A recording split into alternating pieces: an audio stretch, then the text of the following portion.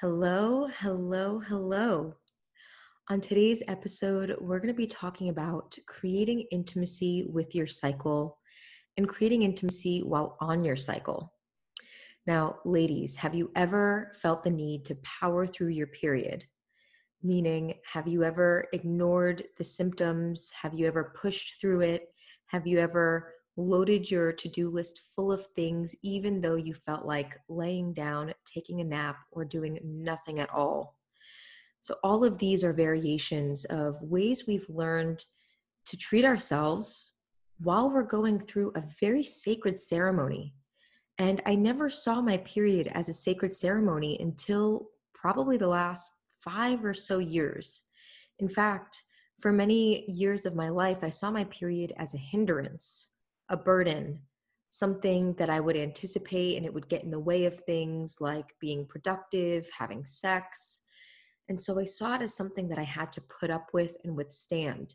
And unfortunately, we're not taught how to harness the power that we generate during that time, during our bleed, during our menstrual cycle. And so on today's episode, I want to talk all about that. And this came to me, this practice of creating a spiritual practice came to me through a book that I highly recommend to anyone called Wild Power. And this book is by Alexandra Pope and um, I always mispronounce her name, Sjanie Hugo Wurlitzer. And it is discovering the magic of your menstrual cycle and awaking the feminine path to power. Now, let's talk for a moment about this feminine path to power because we are living in a time where we're seeing the feminine rise up. Not only the feminine as depicted by female embodied people, but the feminine energy within us all. And when we think of feminine energy, we think of attributes like creativity, nourishment, rest and replenishment, openness, receiving, surrender, these are all the qualities that help balance the masculine, which are qualities like being direct, precise, logical, analytical, achieving. And so when we strike a balance, we generally find the highest amounts of harmony within ourselves, within our environment around us. And it's quite clear that we've been living in a time where there has been a complete imbalance both within ourselves as individuals and in our larger environment in the world. And so, creating intimacy with our menstrual cycles as women allows us to reclaim an inherent and innate power. And that's the power of intuition, the power of inner guidance, the power of wisdom.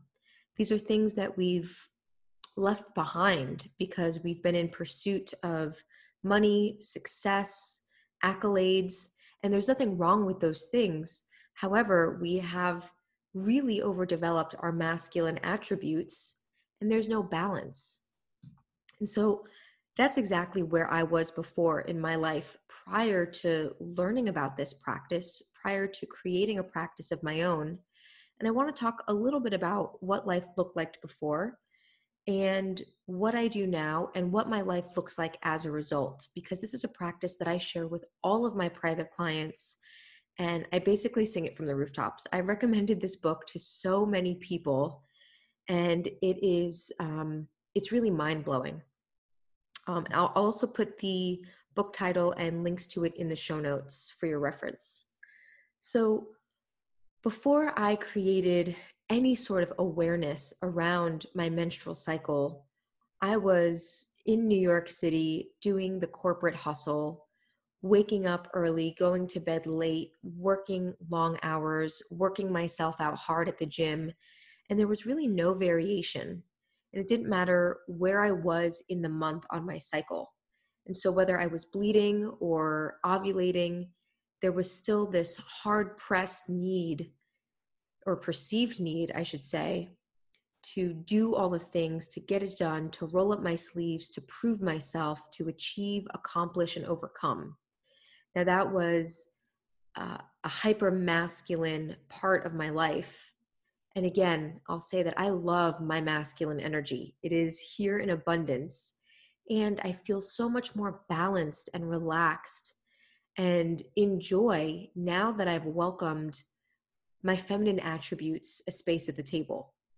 And so, what this often looked like is I could wake up on certain mornings while menstruating and I would just push myself through things. Even if I wanted to relax on the couch for a bit or watch Netflix, I would convince myself that I needed to do otherwise because at that time my sense of worth was tied to what I produced. And so I very rarely gave myself any space to just be, to be with my body, to put my hands on my womb, to ask myself what I needed, to take a bath, to not go out that day.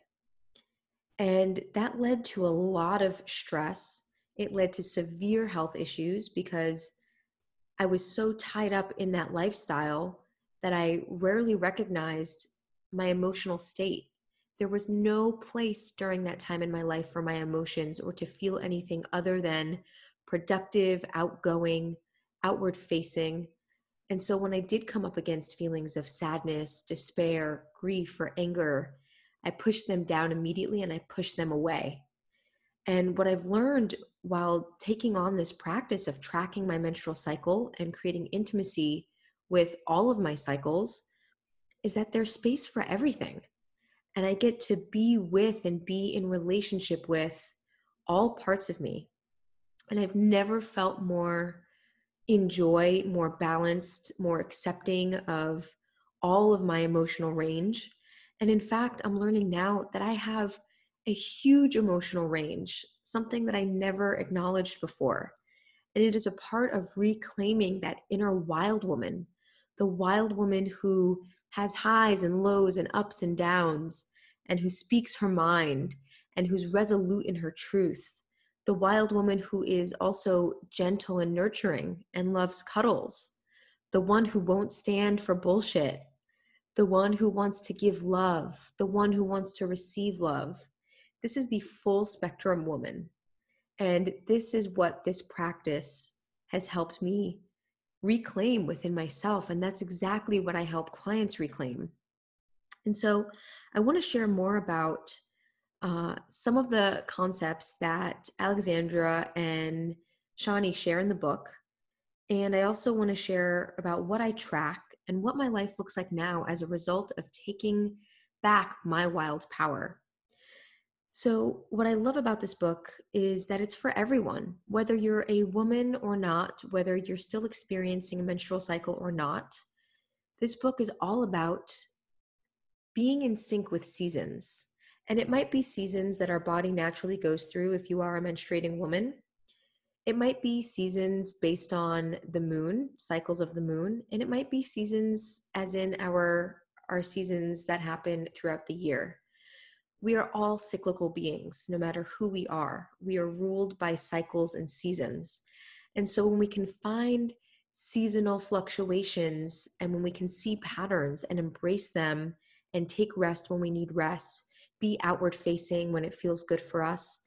It allows us to really maximize our energy and reserve our energy and to live a life that's more optimal for who we are as humans.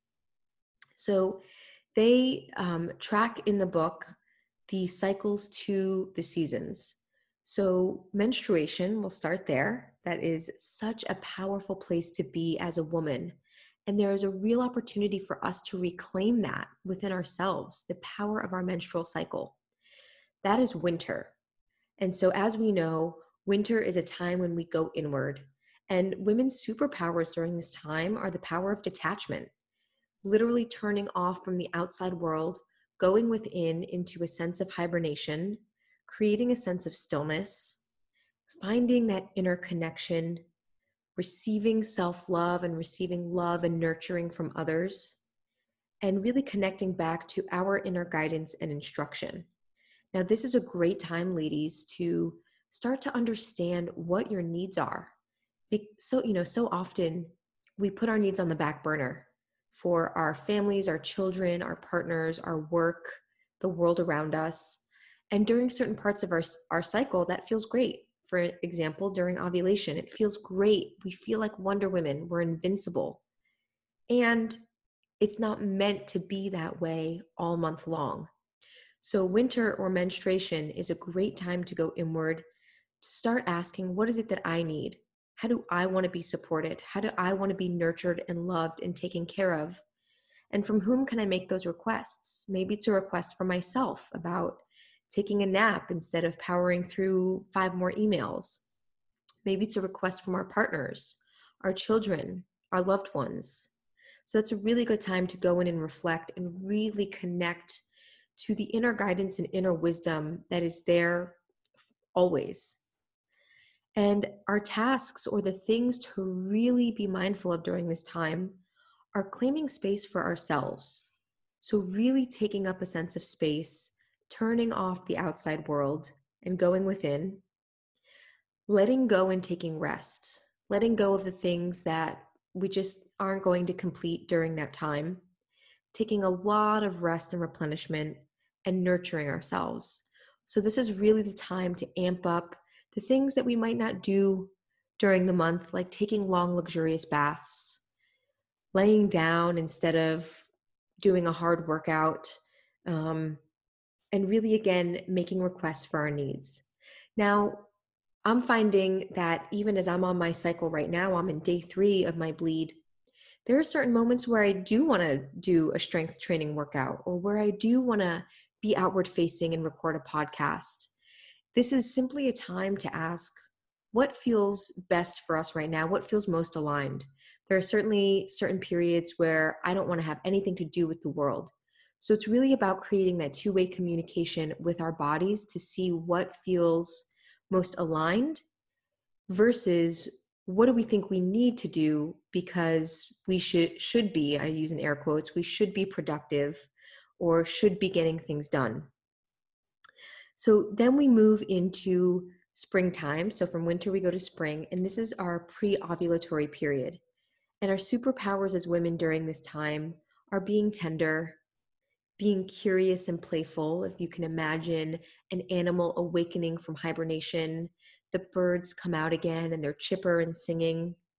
This is a time where we have more of a sense of surging energy and life flowing through us.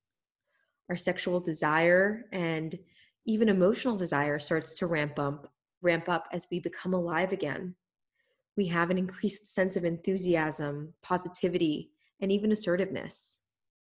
And our tasks in our feminine and sacred initiation during this time are to contain and cherish.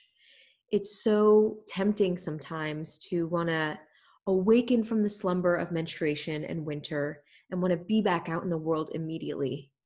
And the thing here is there are certain things that we can hold for ourselves as sacred during this time as we slowly awaken back into spring.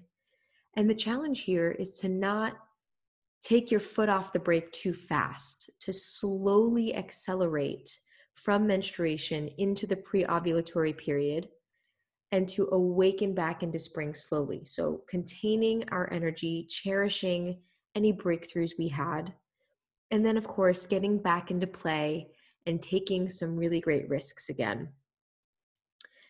Then we move into summer, which is our ovulatory period. And most women hail this time. I know for me, as a woman who loves my masculine energy, I love my ovulatory period and I love the season of summer. It is one of my favorite seasons. It is a time to be out and about in the world, to be outward facing, bubbly, and gregarious, we have a lot of visibility during this time. Generally, we're more optimistic and we take charge. This is when the Wonder Woman comes back. The part of us that can zoom around the house, clean and organize, make dinner, get her work done, and take a shower and be in bed by 10 p.m. and feel great. This is a great time to declare ourselves, to be outward in the world. And if there's a mission we're on, if there's something we want to share, this is the time to do it. It's also time to take our foot off the brake and to take pleasure in things and enjoy. A lot of women experience sexual desire during this time because it's it's the time when we're most fertile. And so it's a time to notice how we can put ourselves out there in the world and how we can take risks. Now, the challenge here is to not overdo it because so many of us, myself included, you know, I thought for many years that I had to sustain this kind of energy, this kind of momentum, and this kind of forward focus during my entire cycle. And if I didn't, then I wasn't worthy. I was worthless. I was unproductive or I was useless. And that's just not the truth. This is a time where we can really embrace our visibility and our outward focus, knowing that we're going to enter into autumn, which is when we start to quiet down. And we notice that in the seasons around us. When we head into autumn, we start to bundle up more. We start to wrap our scarves around us and drink warm beverages. We start to go inward more. And so embrace the ovulatory period for what it is and know that it's not meant to be how we show up for the whole month. And so now we move into autumn, which is our premenstrual time.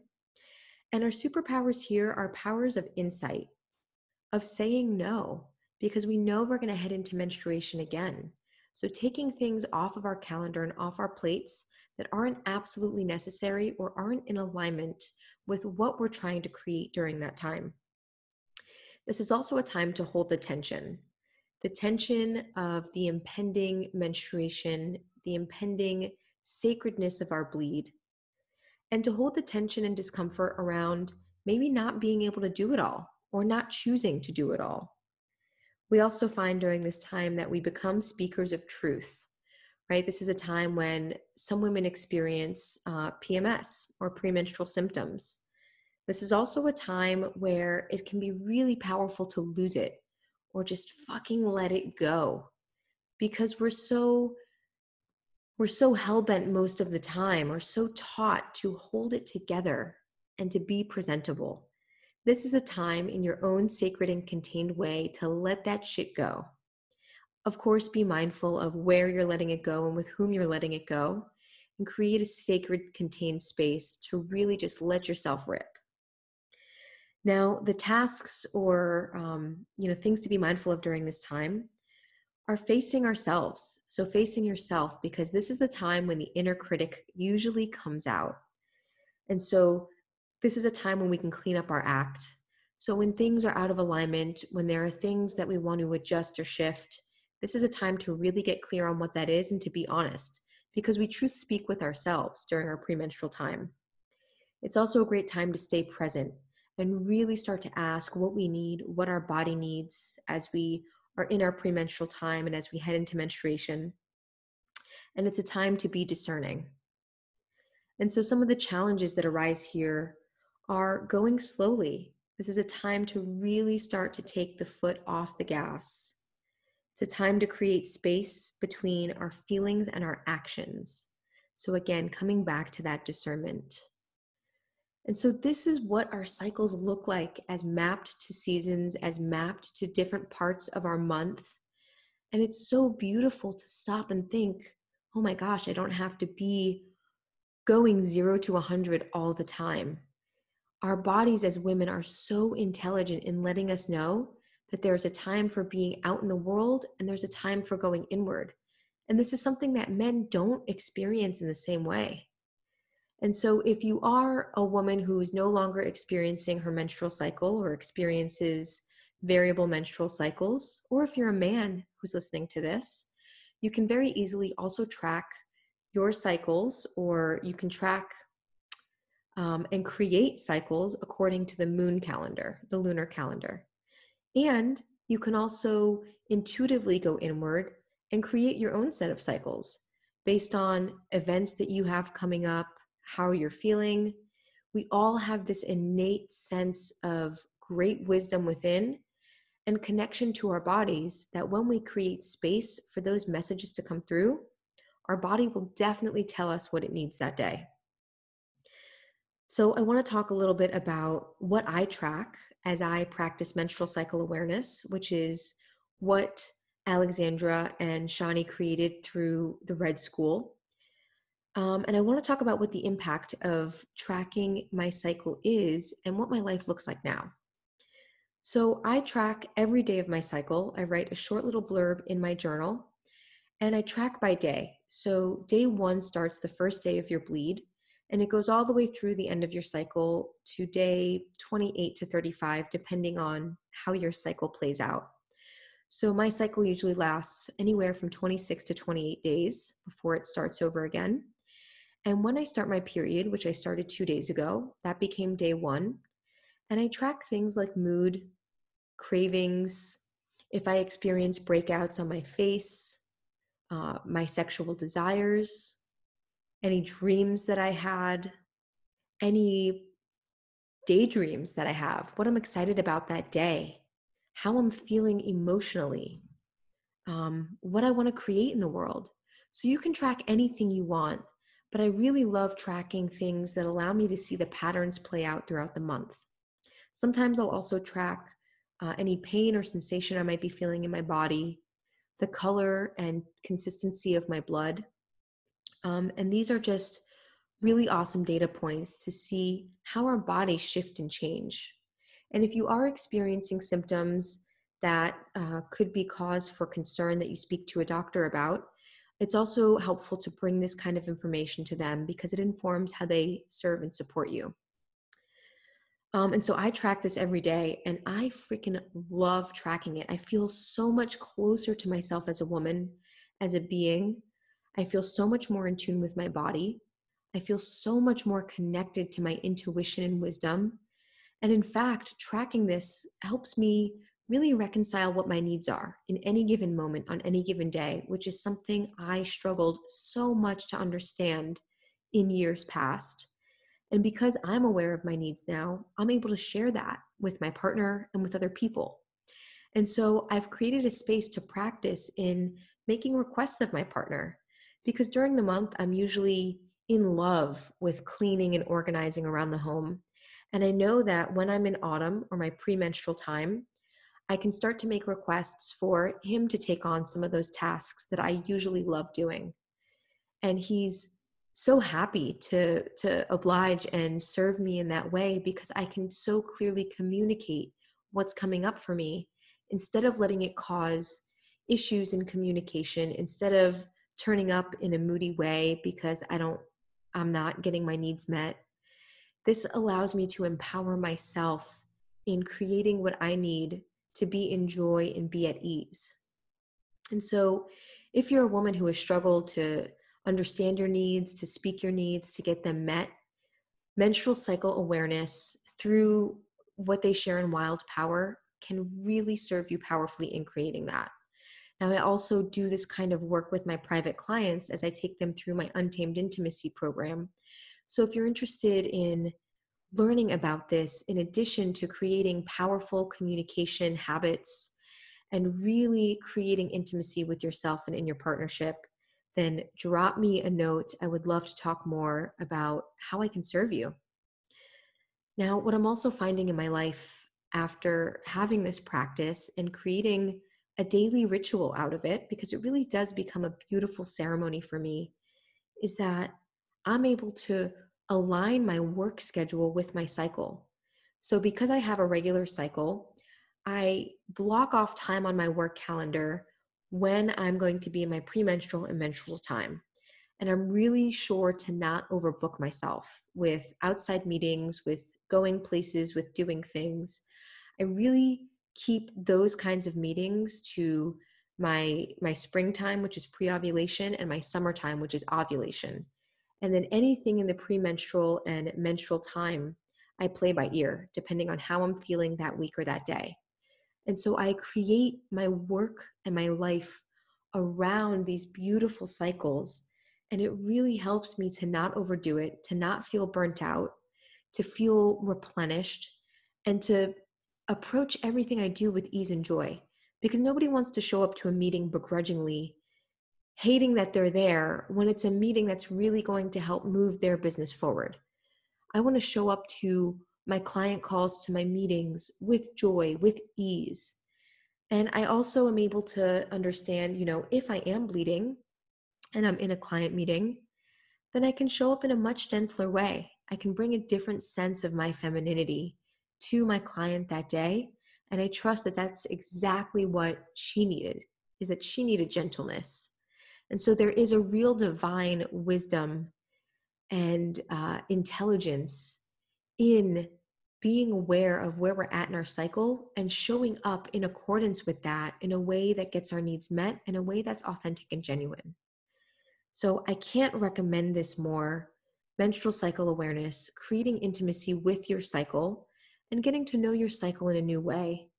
And in fact, that leads me to the last point here, which is creating intimacy while on your cycle.